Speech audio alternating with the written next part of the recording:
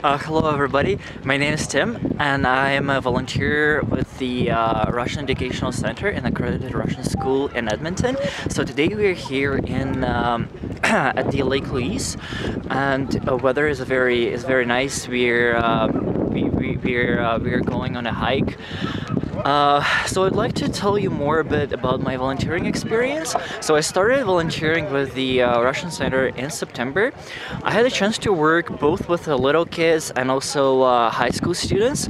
I really enjoyed my experience volunteering for the center because uh, I was able to um, help kids develop their intellectual abilities and start their uh, early learning process. And as for uh, high school students, I help them to uh, to expand their uh, knowledge of Russian grammar and uh, explain them some advanced techniques. If you're interested in volunteering for the Russian Center, please get in touch with us and we'll be happy to, um, to have you on board. Thank you.